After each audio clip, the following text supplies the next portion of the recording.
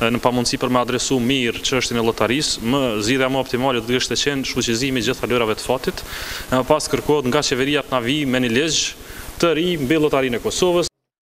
Kanë kaluar dyzet ditë që kur kjo kërkesë e kryetarit të Komisionit për Buxhet dhe Financa, Lumir Abdixhiku, edhe u miratua. Por, ende nuk ka një ligj të veçantë për lejimin e veprimtarisë së Lotarisë së Kosovës.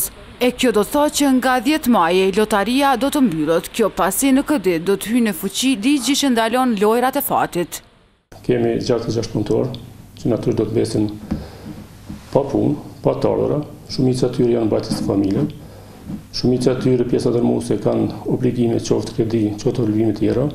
Ndërsa Slamniku pati kritika për ata që e votuan, sipas tij, lotaria nuk paraqet problem për shoqërinë. Shkaqet dhe nga kanë rrjedh edhe arsyet për me me i ndërpre lojët e fatit.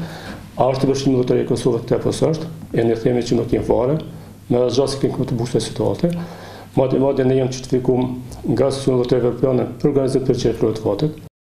Kryetari i Komisionit për Buxhet dhe Financa, Lumir Abdixhiku, kërkon nga Qeveria që sa më shpejt ta procedojnë draft-ligjin në Parlament. Duke pasur parasysh faktin se përmbajtja e draft-ligjit për Llotarinë e Kosovës është e gatshme, ftoj ministrin e Financave dhe kryeministrin si institucione përgjegjëse për këtë sektor që sa më parë të na sjellin në Komision draft-ligjin ku ne do të japim kontributin profesional.